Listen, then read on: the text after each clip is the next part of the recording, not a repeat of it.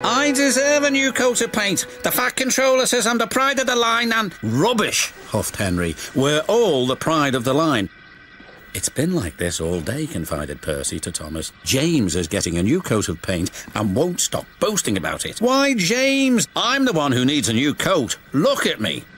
I'd rather not, retorted James. You're not a pleasant sight and wouldn't understand the needs of a really important engine.